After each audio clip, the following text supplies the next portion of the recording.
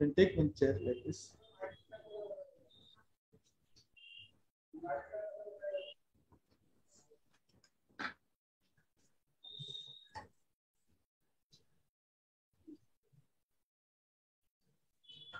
नमस्कार शेतकरी बंधू भगिनींनो स्वातंत्र्याचा अमृत महोत्सव या कार्यक्रमानिमित्त हवामानाचा अंदाज आणि कृषी तज्ज्ञांचा सल्ला या वेबिनार मालिकेच्या भाग बारा मध्ये मी प्रीतम आगलावे तंत्राधिकारी माहिती विभाग आपले सहर्ष स्वागत करीत आहे. नेहमीप्रमाणे दर आठवड्याला आपल्याला हवामानशास्त्र विभागाकडनं आठवड्यामध्ये येणाऱ्या पाच दिवस अंदाज दिला जातो.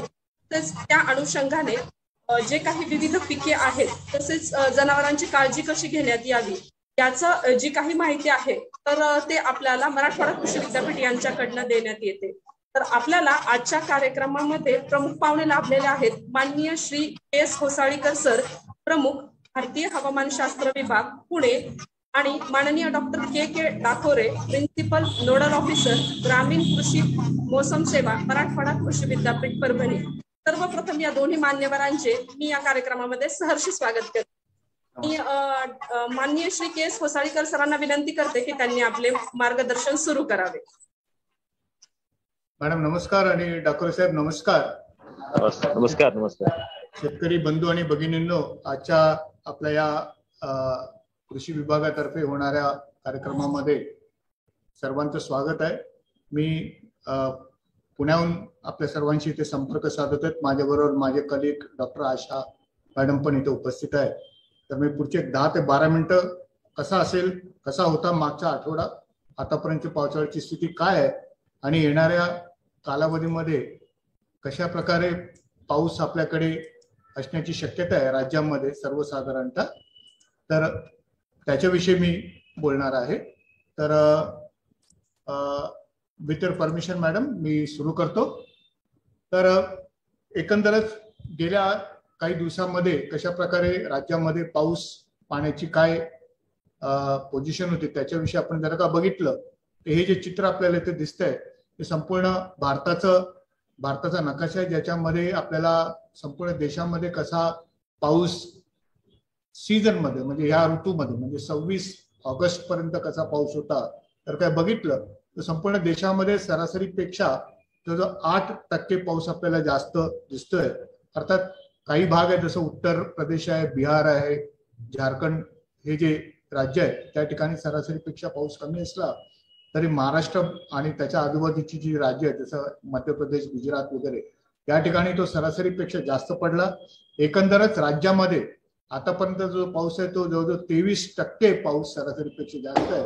आणि जर का आपण त्याच्या उजव्या बाजूचं चित्र जर का बघितलं तर त्याच्यामध्ये आपल्याला सब डिव्हिजन लेवलवरती कसा पाऊस होता? म्हणजे कोकणामध्ये कसा होता? विदर्भामध्ये मराठवाडा मध्ये मध्य महाराष्ट्रामध्ये कसा पाऊस होता?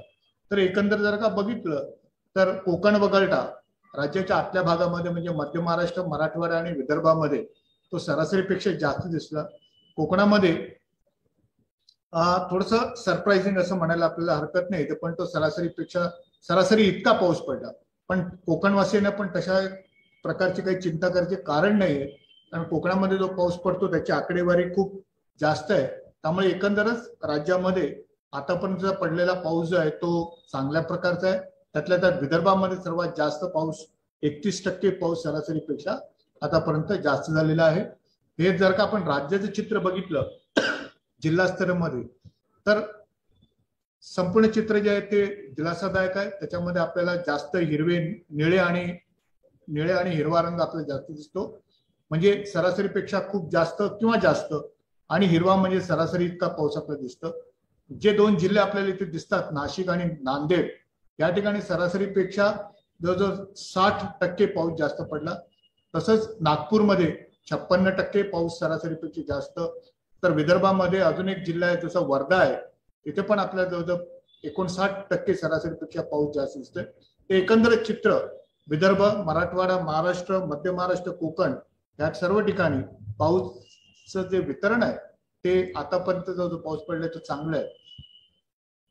एकंदर ज्यावेळी आपण म्हणतो की बऱ्याच ठिकाणी डाकोरे साहेब नंतर सांगतील काही काही ठिकाणी जास्त पाऊस किंवा अतिवृष्टीमुळे शेतीला किंवा कृषीला काही ठिकाणी काही अडचणी निर्माण झालेल्या आहेत काही ठिकाणी पिकांची नुकसानही झालेलं आहे पण मी असं म्हणतो की गेल्या आठवडा त्या मानाने आपल्याला दिलासादायक होतं त्या बाबतीत कारण राज्यामध्ये जर का आपण बघितलं तर मराठवाडा विदर्भ आणि मध्य महाराष्ट्र या ठिकाणी सरासरीपेक्षा खूप कमी किंवा सरासरीपेक्षा कमी पाऊस आपल्याला दिसतो.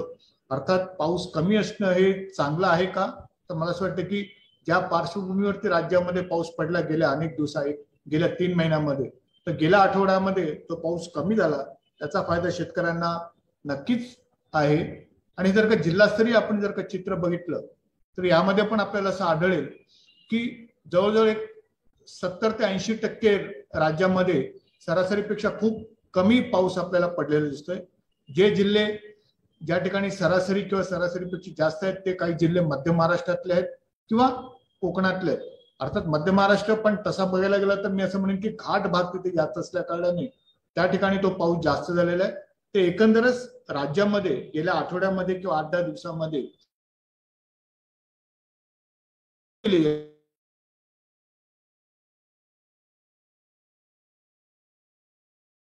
याच्यामध्ये जर का आपण बघितलं तर महाराष्ट्र किंवा त्याच्या आजूबाजूच्या परिसरामध्ये किंवा एकंदरच राज्यामध्ये आपल्याला असं आढळतं की जे ढग आहेत ते तसे फार मोठे ढग किंवा तीव्र प्रकारचे ढग आपल्याला दिसत नाहीयेत. हलक्या स्वरूपाचे ढग आपल्याला दिसत आहेत उपग्रहाच्या चित्रामध्ये आणि कुठल्याही प्रकारचे सिस्टम महाराष्ट्रावरती किंवा त्याच्या आजूबाजूच्या परिसरात दिसत नाही तर त्यामुळे आजचाही दिवस कदाचित म्हणजे बऱ्याच अंशी राज्यासाठी हलका ते मध्यम पावसाचं जाण्याची शक्यता नाकारता येत नाहीये.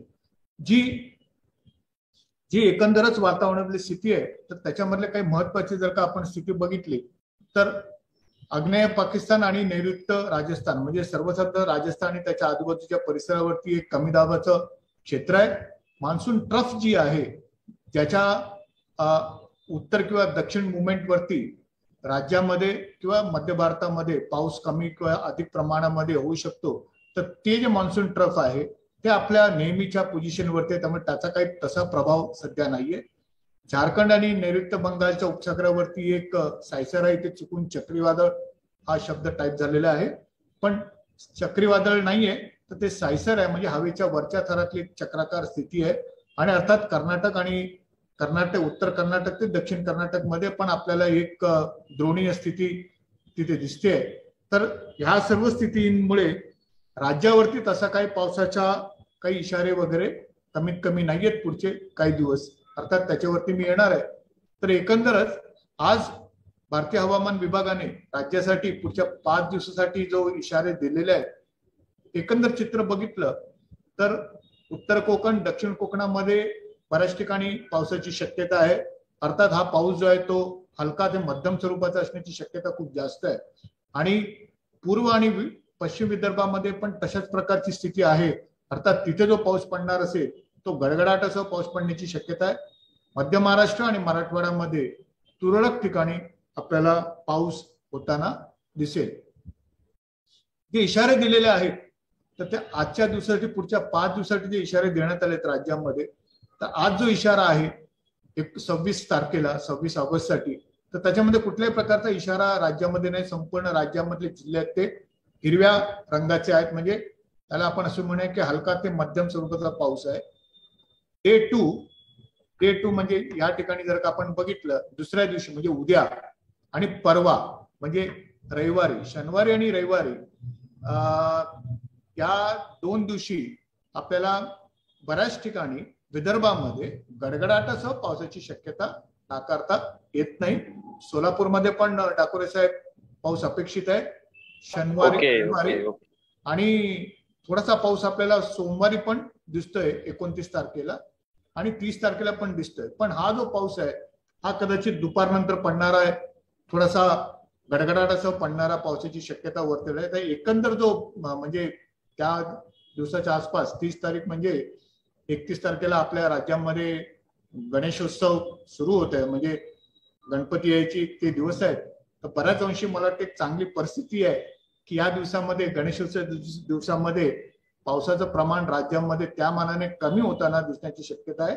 अर्थात एक दोन तारखेपासून राज्यामध्ये परत एकदा एक सप्टेंबर दोन सप्टेंबरपासून परत एकदा राज्यामध्ये पाऊस आपल्याला वाढताना दिसेल पण तो हळूहळू वाढताना दिसेल असं मी म्हणेन.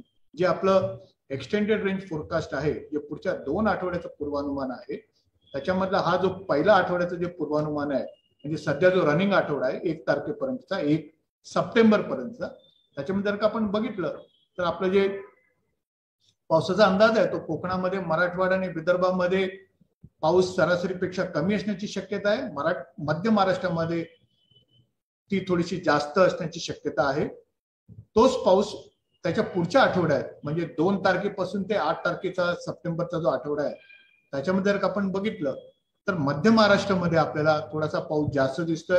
अर्थात तिथेही काही काळजी करायची गरज नाही कारण बऱ्याचदा हा जो पाऊस असतो मध्य महाराष्ट्रातला हा बऱ्याच अंशी नाशिक पुणे सातारा कोल्हापूर या भागातल्या घाट भागामध्ये असण्याची शक्यता जास्त असते. मध्य महाराष्ट्रमध्ये ती स्थिती आहे पण कोकणामध्ये आणि मराठवाडा आणि विदर्भामध्ये तो सरासरी इतका पाऊस असण्याची शक्यता वर्तवण्यात आलेली आहे. ते एकंदरच काय? तर पुढचे आठ ते दहा दिवस किंवा पंधरा दिवस मी असं म्हणेन की राज्यामध्ये हलका पाऊस असण्याची हलका ते मध्यम आणि पुढच्या आठवड्यामध्ये म्हणजे सर्वसाधारण एक दोन तीन तारखेच्या नंतर आपल्याला राज्यामध्ये परत एकदा थोडासा पाऊस वाढताना दिसेल पण फार मोठा पावसाची अपेक्षा सध्या तरी आपल्याकडे नाहीये. तर ते जे पूर्वानुमान होतं त्याचंच पूर्वानुमान इथे जिल्हास्तरीय पूर्वानुमान ज्याला आपण म्हणतो एक्सटेंडेड रेंज फोरकास्ट मधून कशा प्रकारची तफावत असेल तेच दाखवण्याचा प्रयत्न केलाय. पहिला आठवडा सर्वसाधारणतः जशी आता स्थिती आहे राज्यामध्ये पाऊस फार कमी आहे तशाच प्रकारची स्थिती असण्याची शक्यता कायम आहे या आठवड्यामध्ये पण. म्हणजे या आठवड्या म्हणजे पुढचे आठ दिवस.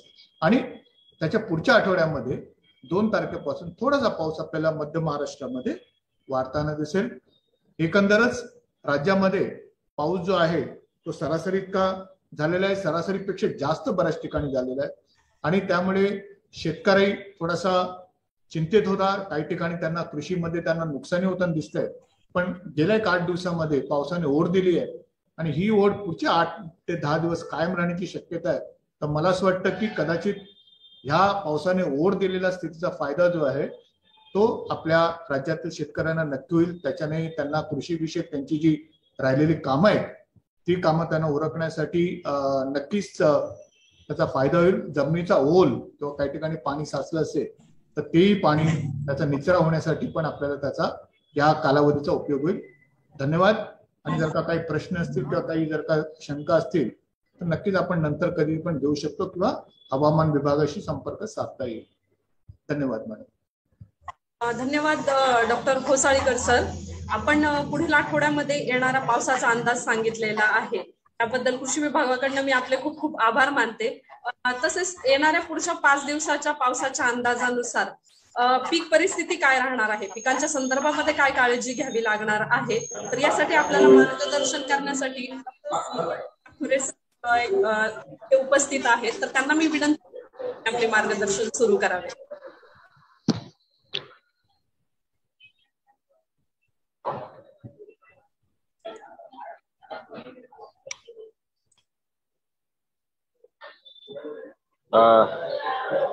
सर्वप्रथम सर्व शेतकरी बांधवांना पोळ्यानिमित्त आपल्याला हार्दिक शुभकामना. आजचा सण हा पोळ्याचा सण आहे. बळीराजासाठी फार महत्त्वाचा आहे. आणि जसं की आपल्याला होसळीकर सरांनी आताच सांगितलं की मागच्या काही आठवड्यामध्ये महाराष्ट्रामध्ये संपूर्ण महाराष्ट्रामध्ये आणि त्याचबरोबर आपल्या पूर्ण महाराष्ट्रामध्ये पाहिलं तर एकदम जरी पावसाचं वातावरण एकदम छान होतं.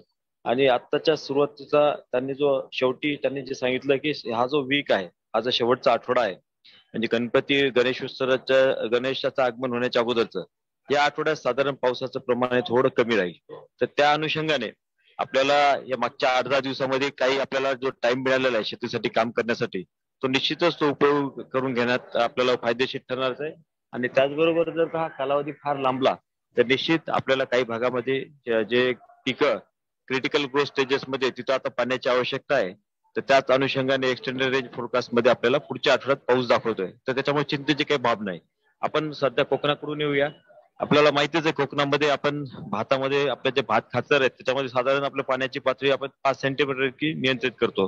आणि पाणी बदलत राहतो. पाण्याचं तेच पाणी राहू नये. जेणेकरून ते पाणी खेळतं राहावं आणि पिकाची वाढ व्यवस्थित व्हावी यासाठी आपण खबरदारी घेत असतो. नंतर जे नागली पीक आहे त्याच्या नागली पिकामध्ये आपण जे पुनर्लागवड करून म्हणजे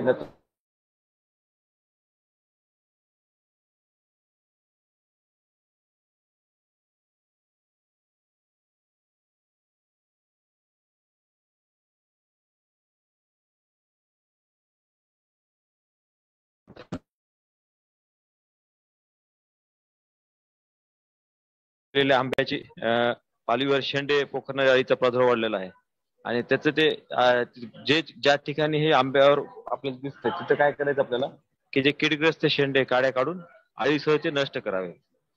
मेकॅनिकली ते आपल्याला नष्ट करायचं. त्याचबरोबर आपलं जे भुईमुगाचं काही क्षेत्र आहे कोकणामध्ये तिथं पण ते फुलोरे ते आऱ्या सुटण्याच्या अवस्थेत असून मातीचा भर दिलेला पिकामध्ये भर दिल्यानंतर आपल्याला साधारणतः पंधरा दिवसाच्या अंतराने शक्य असल्यास अशा ठिकाणी आपल्याला रिकामी पिंपे फिरवावे जेणेकरून आपल्याला ते आर्याम आर्या खाली जमिनीच्या खाली आपल्याला हवा खेळती राहील आणि याची परिणती म्हणून आपल्याला काय होतं की भुईमुगाचे उत्पन्न साधारण दहा टक्क्याने वाढतंय. त्याचबरोबर आपण पाहतोय की ऊसाचं जे क्षेत्र आहे तिथे चारी बाजूंनी बांधावर हराळी लवाळा हे जे तण आहेत याचा पण प्रादुर्भाव मोठ्या प्रमाणात दिसतो त्याची आपल्याला हे वेनिनी करावी लागणार आहे. नंतर हळद पिकामध्ये आपण पाहतोय की जिथे नचा नत्र नत्राचा जो खताचा जो आहे तिसरा हप्ता आता जसा जो साधारणतः साडेआठशे ग्राम प्रति युरिया या प्रमाणात देण्यात यावा आणि त्याच्यानंतर आपल्याला हळद पिकास मातीचा भर द्यावा बुंद्याला. नंतर आपले जे भाजीपाल्यामध्ये सह- सहसा आपले वांगे असतील तिथं तिथे वांग्यावर पाहतो की शेंडा व पखरणाऱ्या अळीचा प्रादुर्भाव वाढलेला आहे. त्याच्यासाठी आपण फांद्या खोडून नष्ट कराव्यात. मेकॅनिकली आपल्याला ते कंट्रोल करायचं आहे नंतर आपले जे वेलवर्गीय भाजीपाला आहे त्याच्यामध्ये आपल्या पिकांना बुंद्याजवळ जे गवत आहे जे तण आहे ते खतात नष्ट करून आपल्याला नत्राची तिसरी मात्रा म्हणजेच दहा ग्राम युरिया प्रति लागवडीनंतर साधारण दोन महिन्यात पावसाची तीव्रता कमी असताना द्यावी आणि त्यावर मातीचा भर द्यावा. जेणेकरून ते हे होणार नाही. खाली कोलॅप्स होणार नाही. त्याचबरोबर दुसरं जे वेलवर्गीय भाजीपाला आहे आपला त्याच्यामध्ये सध्या आपल्याला पाहतो की फळावर फळमाशीचा प्रादुर्भाव दिसून आलेला आहे. तर त्यामुळे तिथं आपल्याला साधारणतः जिथं जे फळमाशीचं नियंत्रण करण्यासाठी आपण जे रक्षक सापळे लावलेत त्याचे ल्युअर प्रति एकरी साधारणतः दोन प्रमाणे आपल्याला मंडप जो मांडव आहे मंडपापासून साधारण एक ते दोन फूट इतक्या उंचीवर ते उभं राहतील अशी एक काळजी घ्यावी लागेल. आणि लुअर आपल्याला साधारणतः एक ठराविक काळाने बदलायचे नंतर आपले जे पशुधन आहे त्याच्यामध्ये शेळ्या असतील. आपल्या शेळ्यामध्ये जे समजा काय झालेलं आहे खुरगत पुन्हा लाळ्या ह्या रोगासाठी आपल्याला प्रतिबंधक उपाययोजना म्हणून डॉक्टरांच्या सल्ल्यानं ऑगस्ट महिन्याच्या महिन्यामध्ये शेळ्याचे व करड्याचे लसीकरण करण्यात यावे. जेणेकरून साधारण कातडी खाली पाच मिली याप्रमाणे शेळ्यांना व करड्यांना देण्यात यावी. ही खबरदारी आपल्याला घ्यायची आहे. त्याच्यानंतर आपण पाहतोय मध्य महाराष्ट्रामध्ये. मध्य महाराष्ट्रामध्ये पण आपल्या जे काही ठिकाणी भाताचं प्रमाण आहे तिथे ते भात खचरातील बांधावरील गवत सोडून आपल्याला ते तणमुक्त ठेवायचं जेणेकरून आपल्याला तिथे कीड होणार नाही. आणि दुसरी गोष्ट म्हणजे किडीचा प्रादुर्भाव हा कमी होईल. नंतर आपल्या ते भात कचऱ्यामधलं इथं पण पाण्याची जी पातळी आपण सहसा तीन ते पाच सेंटीमीटर म्हणजे फुटे फुटण्याच्या अवस्थेत असताना ठेवायची आहे. आणि जेव्हा भात हा पोटरीच्या अवस्थेत जाईल त्यावेळेस आपल्याला ती पाच ते दहा सेंटीमीटर राहील याची काळजी घ्यावी. नंतर आपल्याला पाहतोय की आपल्याला पाणी गुंड पाणी अं, गुंडाळणाऱ्या एक जैविक नियंत्रणासाठी काही आपल्याला उपाययोजना करायच्या आहेत. आणि त्याचं साधारणतः आपल्याला जे- ट्रायकोग्रामा आहे ना त्या प्रजातीचे एक लक्ष प्रौढ प्रति हेक्टर आठवड्याच्या अंतराने वरील प्रमाणे चार वेळा प्रसारित करावेत. नंतर सोयाबीन मध्ये आपण पाहतोय आता सध्या बऱ्याच ठिकाणी फुलोऱ्याच्या अवस्थेत आहे कुठे शेंगा भरायच्या अवस्थेत आहे जिथं मागे पुढे याची पेरणी झालेली त्याच्याप्रमाणे तिथं वेगवेगळ्या अवस्थेत आहे सोयाबीन.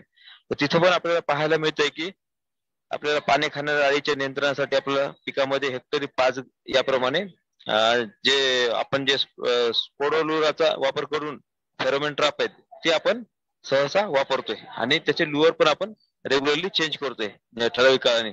नंतर शक्य असल्यास प्रकाश सापळ्याचा सुद्धा आपण वापर करून याद्वारे सुद्धा आपण याचं नियंत्रित करतोय.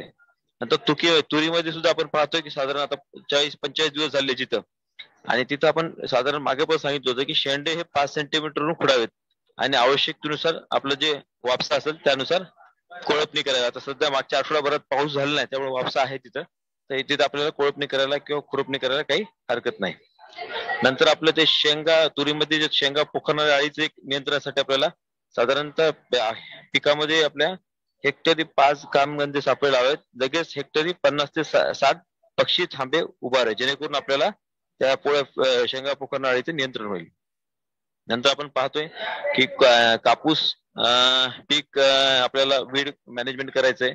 आणि त्यासाठी आपल्याला कोळपणी करून एक साधारणतः सात दिवसाकरता पीक तण विरहित ठेवावं. त्यामुळे जमिनीत आपलं सॉइल मॉइश्चर ओलावा राहील व हवा खेळती राहण्यासाठी पण मदत होईल. नंतर आता आपण पाहतोय की केळी बागेतील जी जमीन स्वच्छ व भुसभुशीत ठेवावी त्याकरता उभी आडवी कोळवणी करावी. केळी बागेत बुंद्यालगत अनेक पिले येऊ लागतात. त्यामुळे काय करावं लागेल आपल्याला? की वेळीच आपल्याला धारदार कोयच्या सहाय्याने नियमित त्या पिल्याची आपल्याला कमी करण्यात यावेत जेणेकरून त्याचं वजन होणार नाही. आणि केळीचे रोगग्रस्त जे पानं आहेत ते कापून बागेबाहेर नष्ट करावेत. आणि त्याचबरोबर आपली जी हिरवे पाने आहेत ती कापू नयेत म्हणजे जे रोग रोगग्रस्त आहेत त्याच पाण्याचं आपल्याला नियंत्रण करायचं आहे. नंतर जंताच्या विविध आजाराच्या नियंत्रणासाठी आपल्याला पशुवैद्यकीय डॉक्टरच्या सहाय्याने जंताच्या व लसीच्या जनावरांना आपल्याला लस टोचून घ्यावी. हे एक आवश्यक आहे. आणि जे गाईचं आहे गाईला सारा आपल्या दररोज पंधरा ते वीस किलो हिरवा चारा लागतो. व पाच ते आठ किलो कोरडा चारा द्यावा लागतो. ज्याच्यामुळे आपल्याला त्याचं शरीर पोषणासाठी तीन ते दोन किलो असा खुराक द्यावा. नंतर आपण मराठवाड्यामध्ये पाहूया. आपण पाहतो की इथं पण आपण बघतो की मागच्या आठवड्यामध्ये साधारण सोळा तारखेपासून वीस तारखेपर्यंत जे बाष्पीभवनाचा वेग फार वाढला होता. आणि नंतर थोडं थोडं असं कमी झालेला आहे. आता आपण पाहतोय की इथे पण पिके फुलोऱ्या अवस्थेत आहेत शेंगा धरण्याच्या अवस्थेत आहेत. तर त्याच्यामध्ये आपण त्यांना एक साधारणतः हा पावसाचा अंदाज बघतोय आठवड्यातला. आपण संरक्षित पाणी द्यायला काही हरकत नाही कारण सध्या तर पाणी फक्त तुरळक ठिकाणी काही ठिकाणी पडण्याचा अंदाज आहे. त्यामुळे ह्या जे अवस्थेत आहे ह्या अवस्थेत थोडस पाणी जरी भेटलं तर उत्पन्न चांगलं येते नंतर आपण पाहतोय की जे सोयाबीन मध्येच जो पिवळा मोजॅक आहे त्याचं एक आपल्याला मेकॅनिकली त्याचं कंट्रोल करायचं जे जे झाडं दिसते तिथं त्याला आपण ते उपटून त्याचं नष्ट करावेत. आणि पांढऱ्या माशीचा पण प्रादुर्भाव कमी करण्यासाठी आपल्याला आपल्या पिकामध्ये प्रति एकरी साधारण पंधरा ते वीस पिवळे चिकटे सापळे लावावेत. ऊसामध्ये पण आपण पाहतोय पायरीला असेल किंवा पांढऱ्या माशीचा प्रादुर्भाव असो त्याची व्यवस्थापन आपण पिवळे चिकटे सापडे लावावेत.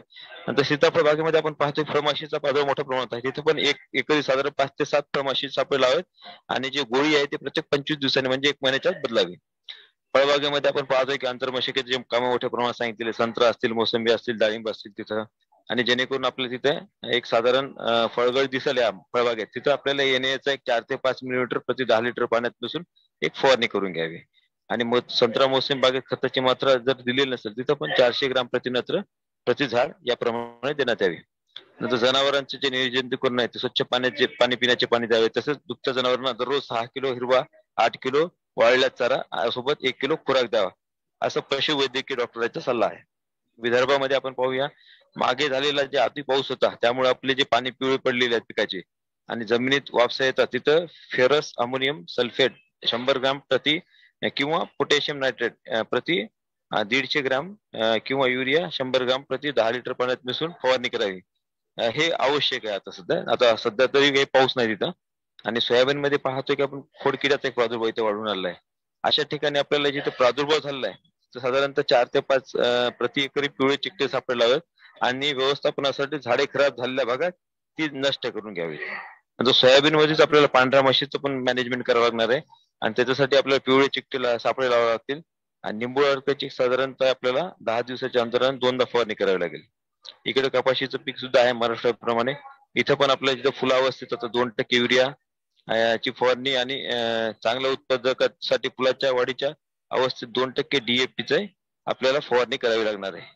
जे पात सध्या पाती गळ व फुलगड नियंत्रण करण्यासाठी पाच मिली फॅलेनोक्स प्रति दहा लिटर पाण्यात मिसळून ते स्वच्छ वातावरणामध्ये आपल्याला फवारणी करावी पाऊस नसताना.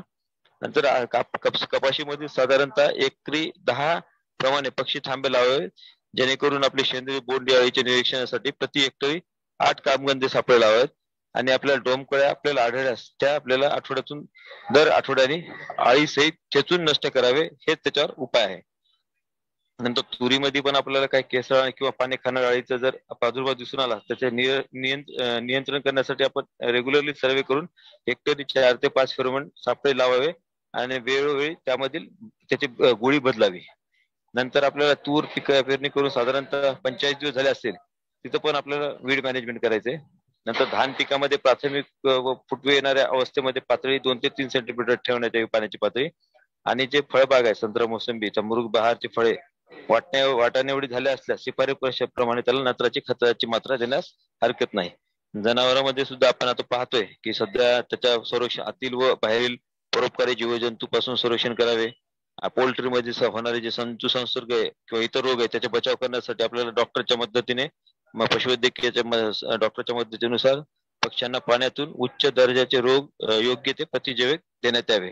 तर मी आशा करतो शेतकरी बांधवांनो की येणाऱ्या पुढच्या आठवड्यामध्ये जसं होसाळीकर सरांनी सांगितलेलं आहे की सेकंड वीक म्हणजेच सेकंड सप्टेंबर पासूनचा पुढचा आठवड्यात संपूर्ण महाराष्ट्रामध्ये पावसाची शक्यता आहे थोडीफार. म्हणजे ह्या अनुषंगाने ह्या आठवड्यामध्ये जरी का आपल्याला पावसाने थोडी ओढ दिली असेल आणि जिथं क्रिटिकल ग्रोथ स्टेजेस असतील पिकांचे त्या ठिकाणी शेतकरी बांधवांनी ओलावा असेल तर थांबायला हरकत नाही आणि जास्तच कोरडे झाले असतील तर त्या ठिकाणी सुरक्षित पाणी देण्यासाठी हरकत नाही. धन्यवाद.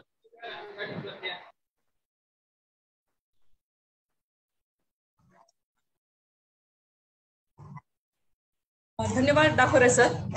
हवामानाचा अंदाज आणि तज्ञांचा सल्ला या भाग बारा मध्ये माननीय होसाळीकर सर आणि माननीय डॉक्टर डाकोरे सरांनी आपल्याला जे अनमोल मार्गदर्शन केलेले आहे त्यासाठी मी त्यांचे कृषी विभागाकडनं खूप खूप आभार मानते.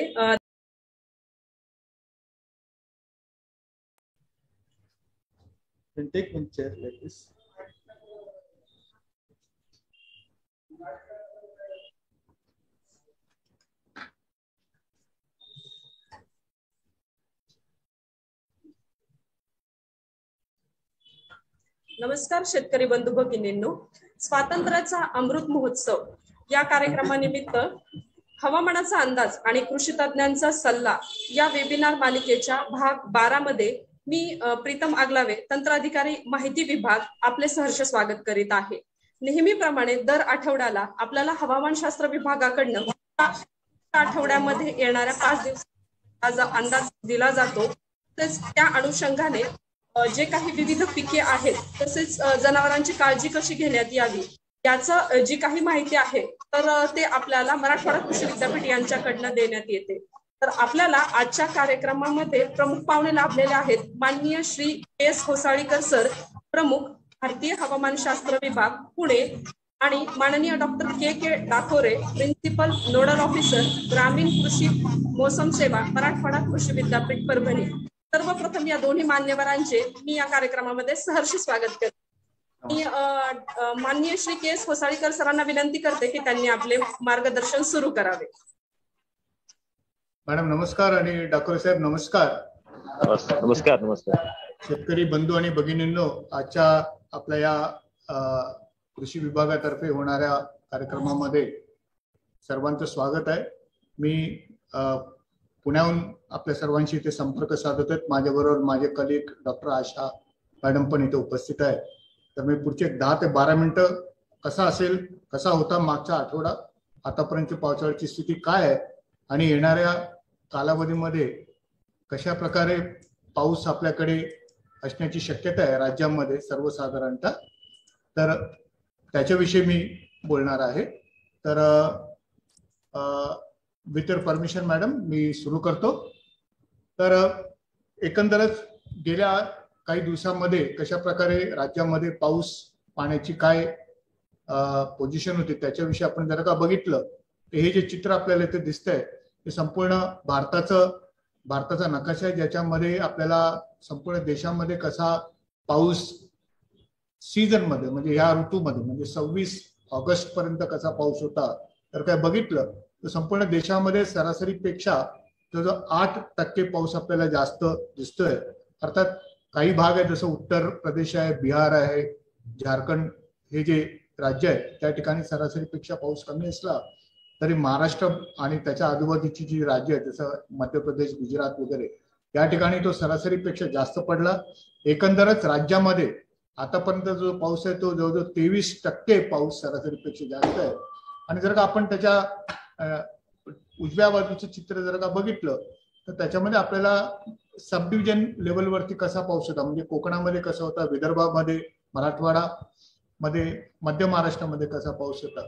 तर एकंदर जर का बघितलं तर कोकण वगळता राज्याच्या आतल्या भागामध्ये म्हणजे मध्य महाराष्ट्र मराठवाडा आणि विदर्भामध्ये तो सरासरीपेक्षा जास्त दिसला. कोकणामध्ये थोडस सरप्राइझिंग असं म्हणायला आपल्याला हरकत नाही पण तो सरासरीपेक्षा सरासरी इतका पाऊस पडला. पण कोकणवासियांना पण तशा प्रकारची काही चिंता करायचे कारण नाहीये. कारण कोकणामध्ये जो पाऊस पडतो त्याची आकडेवारी खूप जास्त आहे. त्यामुळे एकंदरच राज्यामध्ये आतापर्यंत पडलेला पाऊस जो आहे तो चांगल्या प्रकारचा आहे. त्यातल्या त्यात विदर्भामध्ये सर्वात जास्त पाऊस एकतीस टक्के पाऊस सरासरीपेक्षा आतापर्यंत जास्त झालेला आहे. हे जर का आपण राज्याचं चित्र बघितलं जिल्हास्तरामध्ये तर संपूर्ण चित्र जे आहे ते दिलासादायक आहे. त्याच्यामध्ये आपल्याला जास्त हिरवे निळे आणि निळे आणि हिरवा रंग आपल्याला जास्त दिसतो. म्हणजे सरासरीपेक्षा खूप जास्त किंवा जास्त. आणि हिरवा म्हणजे सरासरी इतका पाऊस आपल्याला दिसतं. जे दोन जिल्हे आपल्याला इथे दिसतात नाशिक आणि नांदेड या ठिकाणी सरासरीपेक्षा जवळजवळ साठ टक्के पाऊस जास्त पडला.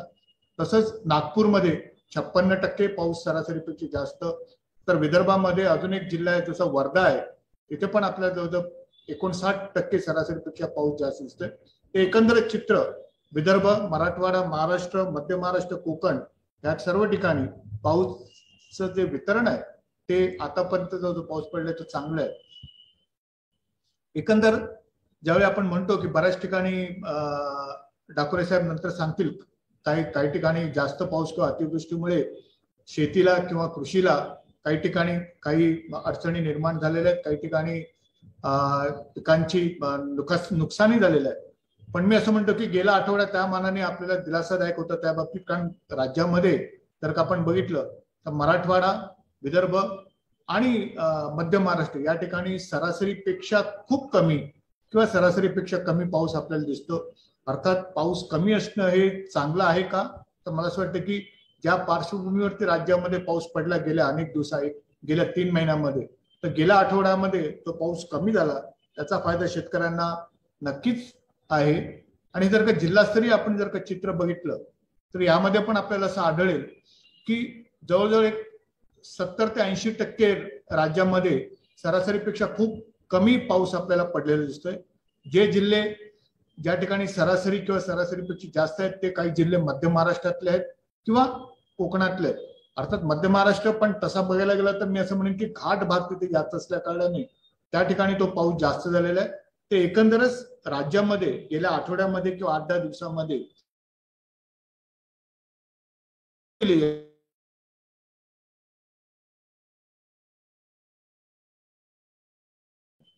याच्यामध्ये जर का आपण बघितलं तर महाराष्ट्र किंवा त्याच्या आजूबाजूच्या परिसरामध्ये किंवा एकंदरच राज्यामध्ये आपल्याला असं आढळतं की जे ढग आहेत ते तसे फार मोठे ढग किंवा तीव्र प्रकारचे ढग आपल्याला दिसत नाहीयेत.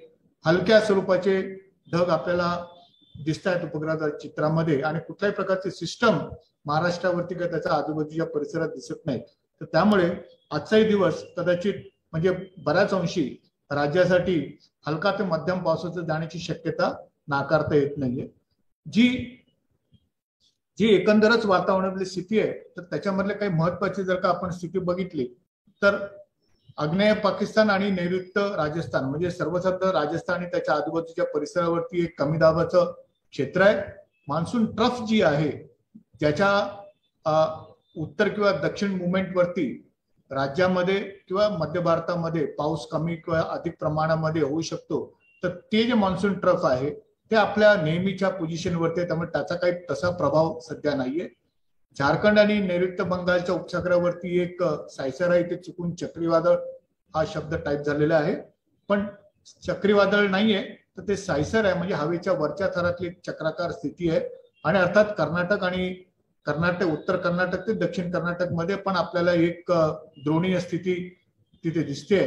तर ह्या सर्व स्थितीमुळे राज्यावरती तसा काही पावसाच्या काही इशारे वगैरे कमीत कमी नाहीयेत पुढचे काही दिवस. अर्थात त्याच्यावरती मी येणार आहे. तर एकंदरच आज भारतीय हवामान विभागाने राज्यासाठी पुढच्या पाच दिवसासाठी जो इशारे दिलेले आहेत एकंदर चित्र बघितलं तर उत्तर कोकण दक्षिण कोकणामध्ये बऱ्याच ठिकाणी पावसाची शक्यता आहे. अर्थात हा पाऊस जो आहे तो हलका ते मध्यम स्वरूपाचा असण्याची शक्यता खूप जास्त आहे. आणि पूर्व आणि पश्चिम विदर्भामध्ये पण तशाच प्रकारची स्थिती आहे. अर्थात तिथे जो पाऊस पडणार असेल तो गडगडाटासह पाऊस पडण्याची शक्यता आहे. मध्य महाराष्ट्र आणि मराठवाड्यामध्ये तुरळक ठिकाणी आपल्याला पाऊस होताना दिसेल. जे इशारे दिलेले आहेत तर ते आजच्या दिवसासाठी पुढच्या पाच दिवसासाठी जे इशारे देण्यात आलेत राज्यामध्ये तर आज जो इशारा आहे एक सव्वीस तारखेला सव्वीस ऑगस्टसाठी तर त्याच्यामध्ये कुठल्याही प्रकारचा इशारा राज्यामध्ये नाही. संपूर्ण राज्यामधले जिल्ह्यात ते हिरव्या रंगाचे आहेत. म्हणजे त्याला आपण असं म्हणूया की हलका ते मध्यम स्वरूपाचा पाऊस आहे. डे टू डे टू म्हणजे या ठिकाणी जर का आपण बघितलं दुसऱ्या दिवशी म्हणजे उद्या आणि परवा म्हणजे रविवारी शनिवारी आणि रविवारी या दोन दिवशी आपल्याला बऱ्याच ठिकाणी विदर्भामध्ये गडगडाटासह पावसाची शक्यता नाकारता येत नाही. सोलापूरमध्ये पण डाकोरे साहेब पाऊस अपेक्षित आहे. शनिवारी रविवारी आणि थोडासा पाऊस आपल्याला सोमवारी पण दिसतोय एकोणतीस तारखेला. आणि तीस तारखेला पण दिसतोय. पण हा जो पाऊस आहे हा कदाचित दुपारनंतर पडणारा आहे. थोडासा गडगडाटासह पडणारा पावसाची शक्यता वर्तवली आहे. तर एकंदर जो म्हणजे त्या दिवसाच्या आसपास तीस तारीख म्हणजे एकतीस तारखेला आपल्या राज्यामध्ये गणेशोत्सव सुरू होत आहे म्हणजे गणपती यायची ते दिवस आहेत. तर बऱ्याच अंशी मला वाटते चांगली परिस्थिती आहे की या दिवसामध्ये गणेशोत्सव दिवसामध्ये पावसाचं प्रमाण राज्यामध्ये त्या मानाने कमी होताना दिसण्याची शक्यता आहे. अर्थात एक दोन तारखेपासून राज्यामध्ये परत एकदा एक सप्टेंबर दोन सप्टेंबरपासून परत एकदा राज्यामध्ये पाऊस आपल्याला वाढताना दिसेल पण तो हळूहळू वाढताना दिसेल असं मी म्हणेन. जे आपलं एक्सटेंडेड रेंज फोरकास्ट आहे जे पुढच्या दोन आठवड्याचं पूर्वानुमान आहे त्याच्यामधला हा जो पहिला आठवड्याचं जे पूर्वानुमान आहे म्हणजे सध्या जो रनिंग आठवडा आहे एक तारखेपर्यंतचा एक सप्टेंबर पर्यंतचा त्याच्यामध्ये जर का आपण बघितलं तर आपलं जे पावसाचा अंदाज आहे तो कोकणामध्ये मराठवाडा आणि विदर्भामध्ये पाऊस सरासरीपेक्षा कमी असण्याची शक्यता आहे. मराठ मध्य महाराष्ट्रामध्ये ती थोडीशी जास्त असण्याची शक्यता आहे. तोच पाऊस त्याच्या पुढच्या आठवड्यात म्हणजे दोन तारखेपासून ते आठ तारखेचा सप्टेंबरचा जो आठवडा आहे त्याच्यामध्ये जर आपण बघितलं तर मध्य महाराष्ट्रामध्ये आपल्याला थोडासा पाऊस जास्त दिसतोय. अर्थात तिथेही काही काळजी करायची गरज नाही कारण बऱ्याचदा हा जो पाऊस असतो मध्य महाराष्ट्रातला हा बऱ्याच अंशी नाशिक पुणे सातारा कोल्हापूर या भागातल्या घाट भागामध्ये असण्याची शक्यता जास्त असते. मध्य महाराष्ट्रमध्ये ती स्थिती आहे पण कोकणामध्ये आणि मराठवाडा आणि विदर्भामध्ये तो सरासरी इतका पाऊस असण्याची शक्यता वर्तवण्यात आलेली आहे. ते एकंदरच काय तर पुढचे आठ ते दहा दिवस किंवा पंधरा दिवस मी असं म्हणेन की राज्यामध्ये हलका पाऊस असण्याची हलका ते मध्यम आणि पुढच्या आठवड्यामध्ये म्हणजे सर्वसाधारण एक दोन तीन तारखेच्या नंतर आपल्याला राज्यामध्ये परत एकदा थोडासा पाऊस वाढताना दिसेल पण फार मोठा पावसाची अपेक्षा सध्या तरी आपल्याकडे नाहीये. तर ते जे पूर्वानुमान होतं त्याचंच पूर्वानुमान इथे जिल्हास्तरीय पूर्वानुमान ज्याला आपण म्हणतो एक्सटेंडेड रेंज फोरकास्ट मधून कशा प्रकारची तफावत असेल तेच दाखवण्याचा प्रयत्न केलाय. पहिला आठवडा सर्वसाधारणतः जशी आता स्थिती आहे राज्यामध्ये पाऊस फार कमी आहे तशाच प्रकारची स्थिती असण्याची शक्यता कायम आहे या आठवड्यामध्ये. पण म्हणजे या आठवड्या म्हणजे पुढचे आठ दिवस आणि त्याच्या पुढच्या आठवड्यामध्ये दोन तारखेपासून थोडासा पाऊस आपल्याला मध्य महाराष्ट्रामध्ये वाढताना दिसेल. एकंदरच राज्यामध्ये पाऊस जो आहे तो सरासरी इतका झालेला आहे सरासरीपेक्षा जास्त बऱ्याच ठिकाणी झालेला आहे. आणि त्यामुळे शेतकरी थोडासा चिंतित होता काही ठिकाणी त्यांना कृषीमध्ये त्यांना नुकसानी होताना दिसतंय. पण गेल्या एक आठ दिवसामध्ये पावसाने ओढ दिली आहे आणि ही ओढ पुढचे आठ ते दहा दिवस कायम राहण्याची शक्यता आहे. तर मला असं वाटतं की कदाचित ह्या पावसाने ओढ दिलेला स्थितीचा फायदा जो आहे तो आपल्या राज्यातील शेतकऱ्यांना नक्की होईल. त्याच्याने त्यांना कृषीविषयक त्यांची जी राहिलेली कामं आहेत ती कामं त्यांना ओळखण्यासाठी नक्कीच त्याचा फायदा होईल. जमिनीचा ओल किंवा काही ठिकाणी पाणी साचलं असेल तर तेही पाणी त्याचा निचरा होण्यासाठी पण आपल्याला त्याचा या कालावधीचा उपयोग होईल. धन्यवाद. आणि जर का काही प्रश्न असतील किंवा काही जर का शंका असतील तर नक्कीच आपण नंतर कधी पण देऊ शकतो किंवा हवामान विभागाशी संपर्क साधता येईल. धन्यवाद मॅडम. धन्यवाद डॉक्टर घोसाळीकर सर. आपण पुढील आठवड्यामध्ये येणारा पावसाचा अंदाज सांगितलेला आहे. त्याबद्दल कृषी विभागाकडनं मी आपले खूप खूप आभार मानते. तसेच येणाऱ्या पुढच्या पाच दिवसाच्या पावसाच्या अंदाजानुसार पीक परिस्थिती काय राहणार आहे? पिकांच्या संदर्भामध्ये काय काळजी घ्यावी लागणार आहे? तर यासाठी आपल्याला मार्गदर्शन करण्यासाठी उपस्थित आहेत. तर त्यांना मी विनंती आपले मार्गदर्शन सुरू करावे.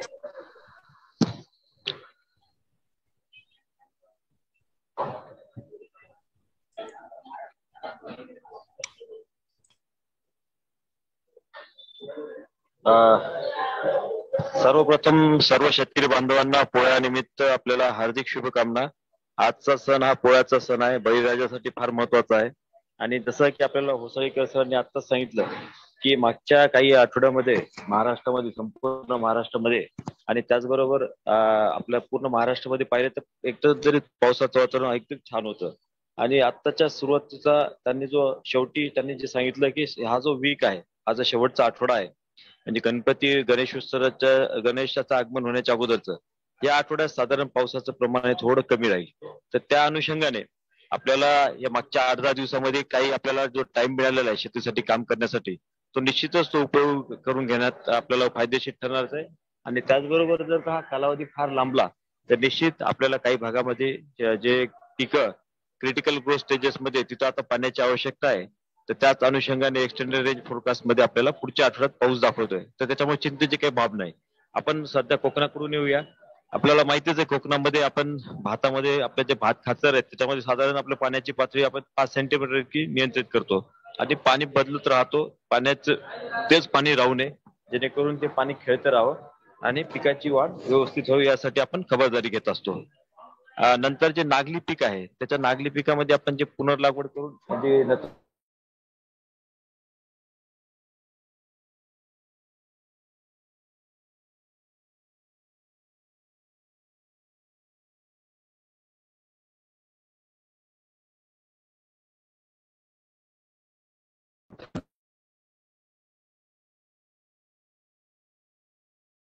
असलेल्या आंब्याची पालीवर पालवीवर शेंडे पोखरणाऱ्या अळीचा प्रादुर्भाव वाढलेला आहे.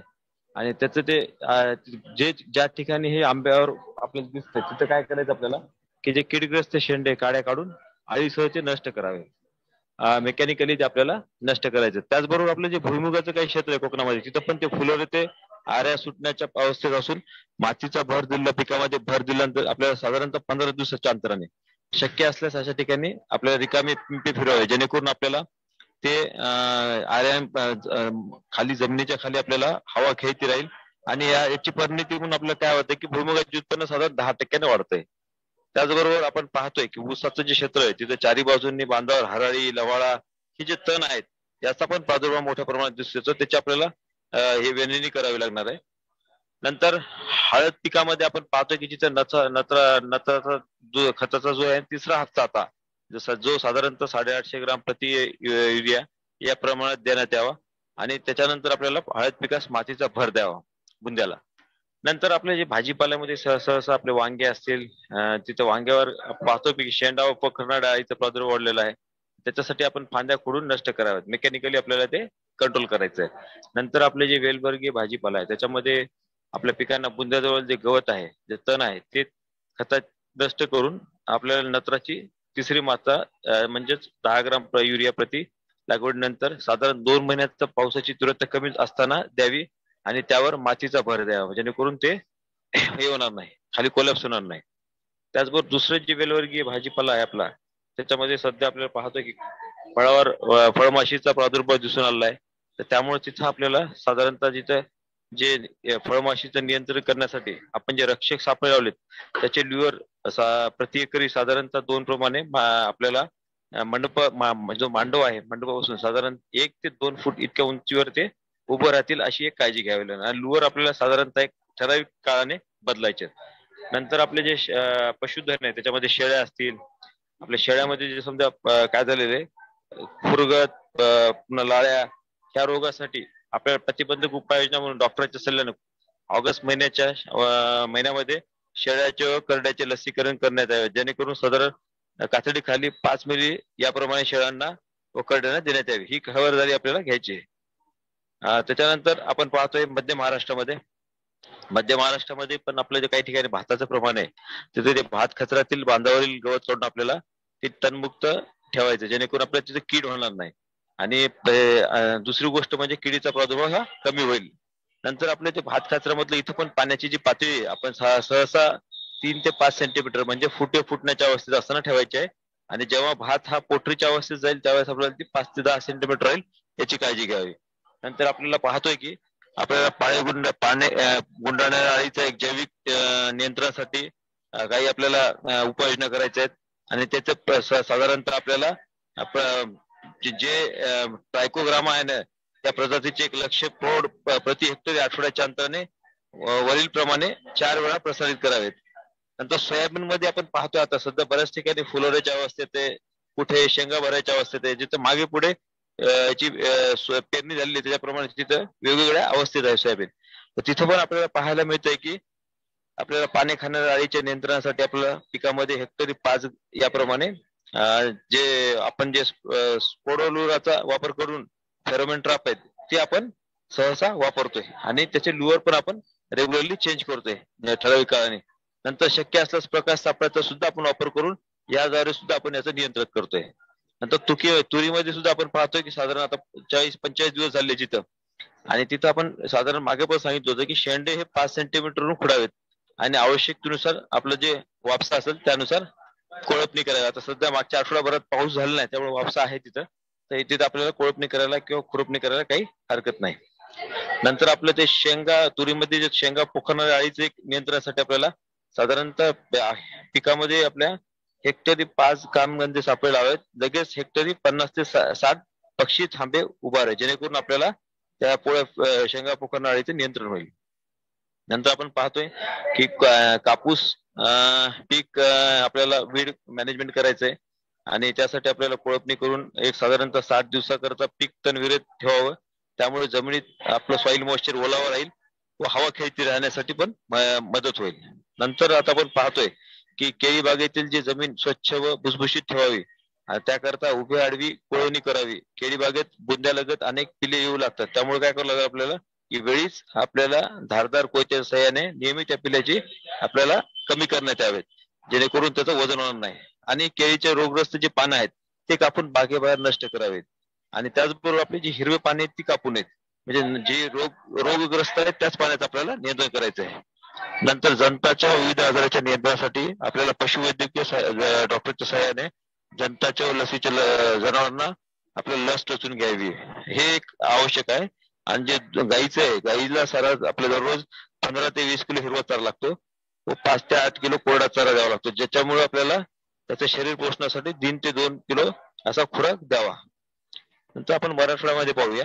आपण पाहतो की इथं पण आपण बघतो की मागच्या आठवड्यामध्ये साधारण सोळा तारखेपासून वीस तारखेपर्यंत जे बाष्पीभवनाचा वेग फार वाढला होता. आणि नंतर थोडं थोडासा कमी झालेला आहे. आता आपण पाहतोय की इथे पण पिके फुलोऱ्या अवस्थेत आहेत शेंगा धरण्याच्या अवस्थेत आहेत. तर त्याच्यामध्ये आपण त्यांना एक साधारणतः हा पावसाचा अंदाज बघतोय आठवड्यातला. आपण संरक्षित पाणी द्यायला काही हरकत नाही कारण सध्या तर पाणी फक्त तुरळक ठिकाणी काही ठिकाणी पडण्याचा अंदाज आहे. त्यामुळे ह्या जे अवस्थेत आहेत ह्या अवस्थेत थोडस पाणी जरी भेटलं तर उत्पन्न चांगलं येते नंतर आपण पाहतोय की जे सोयाबीन मध्येच जो पिवळा मोजॅक आहे त्याचं एक आपल्याला मेकॅनिकली त्याचं कंट्रोल करायचं जे जे झाडं दिसते तिथं त्याला आपण ते उपटून त्याचं नष्ट करावेत. आणि पांढऱ्या माशीचा पण प्रादुर्भाव कमी करण्यासाठी आपल्याला आपल्या पिकामध्ये प्रति एकरी साधारण पंधरा ते वीस पिवळे चिकटे सापळे लावावेत. ऊसामध्ये पण आपण पाहतोय पायरीला असेल किंवा पांढऱ्या माशीचा प्रादुर्भाव असो त्याचे व्यवस्थापन आपण पिवळे चिकटे सापडे लावावेत. नंतर सीताफळ बागेमध्ये आपण पाहतोय फळमाशीचा प्रादुर्भाव मोठ्या प्रमाणात आहे. तिथे पण एक एकरी साधारण पाच ते सात फळमाशी सापडे लावावेत आणि जी गोळी आहे ती प्रत्येक पंचवीस दिवसांनी म्हणजे एक महिन्याच्याच बदलावी. फळबागेमध्ये आपण पाहतोय की आंतरमशागत जे कामं मोठ्या प्रमाणात सांगितलेले संत्रा असतील मोसंबी असतील डाळिंब असतील तिथं. आणि जेणेकरून आपल्या तिथे एक साधारण फळगळ दिसेल या फळबागेत. तिथं आपल्याला येण्याचा एक चार ते पाच मिलीमीटर प्रति दहा लिटर पाण्यात बसून एक फवारणी करून घ्यावी.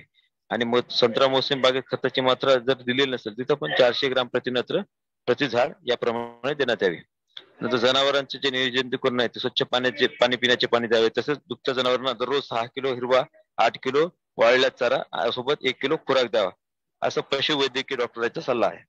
विदर्भामध्ये आपण पाहूया मागे झालेला जे अति पाऊस होता त्यामुळे आपले जे पाणी पिवळे पडलेले आहेत पिकाचे आणि जमिनीत वापसा येतात तिथं फेरस अमोनियम सल्फेट शंभर ग्राम प्रति किंवा पोटॅशियम नायट्रेट प्रति दीडशे ग्राम किंवा युरिया शंभर ग्राम प्रति दहा लिटर पाण्यात मिसळून फवारणी करावी. हे आवश्यक आहे आता सध्या. आता सध्या तरी काही पाऊस नाही तिथं. आणि सोयाबीन मध्ये पाहतोय की आपण खोडकिड्याचा एक प्रादुर्भाव इथे वाढून आलेला आहे. अशा ठिकाणी आपल्याला जिथे प्रादुर्भाव झालेला आहे तर साधारणतः चार ते पाच प्रति एकरी पिवळे चिकटे सापडले लागत आणि व्यवस्थापनासाठी झाडे खराब झालेल्या भागात ती नष्ट करून घ्यावी. आता सोयाबीन मध्येच आपल्याला पांढऱ्या म्हशीचं पण मॅनेजमेंट करावं लागणार आहे. आणि त्याच्यासाठी आपल्याला पिवळे चिकटेला सापळे लावावे लागतील. आणि निंबू अर्काची साधारणतः आपल्याला दहा दिवसाच्या अंतराने दोनदा फवारणी करावी लागेल. इकडे कपाशीचं पीक सुद्धा आहे महाराष्ट्राप्रमाणे. इथं पण आपल्याला जिथं फुलं अवस्थेत आता दोन टक्के युरिया ची फवारणी आणि चांगल्या उत्पादकासाठी फुलाच्या वाढीच्या अवस्थेत दोन टक्के डीएपीचे आपल्याला फवारणी करावी लागणार आहे. जे सध्या पातीगळ व फुलगळ नियंत्रण करण्यासाठी पाच मिली फॅलेनोक्स प्रति दहा लिटर पाण्यात मिसळून ते स्वच्छ वातावरणामध्ये आपल्याला फवारणी करावी पाऊस नसताना. नंतर कपाशीमध्ये साधारणतः एकरी दहा प्रमाणे पक्षी थांबे लावावे जेणेकरून आपली सेंद्रिय बोंडी अळीच्या निरीक्षणासाठी प्रति हेक्टरी आठ कामगंधे सापडे लावावेत. आणि आपल्या डोमकळ्या आपल्याला आढळल्यास त्या आपल्याला आठवड्यातून दर आठवड्याने आळीसहित चेचून नष्ट करावे हेच त्याच्यावर उपाय आहे. नंतर तुरीमध्ये पण आपल्याला काही केसळ किंवा पाणी खाणार अळीचा जर प्रादुर्भाव दिसून आला त्याचे नियंत्रण करण्यासाठी आपण रेग्युलरली सर्वे करून हेक्टरी चार ते पाच फेरोमन सापळे लावावे आणि वेळोवेळी त्यामधील त्याची गोळी बदलावी. नंतर आपल्याला तूर पिक पेरणी करून साधारणतः पंचेचाळीस दिवस झाले असतील तिथं पण आपल्याला वीड मॅनेजमेंट करायचंय. नंतर धान पिकामध्ये प्राथमिक व फुटवे येणाऱ्या अवस्थेमध्ये पातळी दोन ते तीन सेंटीमीटर ठेवण्यात यावी पाण्याची पातळी. आणि जे फळबाग आहे संत्रा मोसंबी चमरुग बहारची फळे वाटण्या वाटाणे एवढी झाल्या असल्यास शिफारी प्रमाणे त्याला नत्राची खताची मात्रा देण्यास हरकत नाही. जनावरांमध्ये सुद्धा आपण आता पाहतोय की सध्या त्याच्या संरक्षण आतील व बाहेरील परोपकारी जीवजंतूपासून संरक्षण करावे. पोल्ट्री मध्ये होणारे जे संतू संसर्ग आहे किंवा इतर रोग आहे त्याचा बचाव करण्यासाठी आपल्याला डॉक्टरच्या मदतीने म- पशुवैद्यकीयच्या डॉक्टरच्या मदतीनुसार पक्ष्यांना पाण्यातून उच्च दर्जाचे रोग योग्य ते प्रतिजैविक देण्यात यावे. तर मी आशा करतो शेतकरी बांधवांनो की येणाऱ्या पुढच्या आठवड्यामध्ये जसं होसाळीकर सरांनी सांगितलेलं आहे की सेकंड वीक म्हणजेच सेकंड सप्टेंबर पासूनचा पुढचा आठवड्यात संपूर्ण महाराष्ट्रामध्ये पावसाची शक्यता आहे थोडीफार. म्हणजे ह्या अनुषंगाने ह्या आठवड्यामध्ये जरी का आपल्याला पावसाने थोडी ओढ दिली असेल आणि जिथं क्रिटिकल ग्रोथ स्टेजेस असतील पिकांचे त्या ठिकाणी शेतकरी बांधवांनी ओलावा असेल तर थांबायला हरकत नाही आणि जास्तच कोरडे झाले असतील तर त्या ठिकाणी सुरक्षित पाणी देण्यासाठी हरकत नाही. धन्यवाद.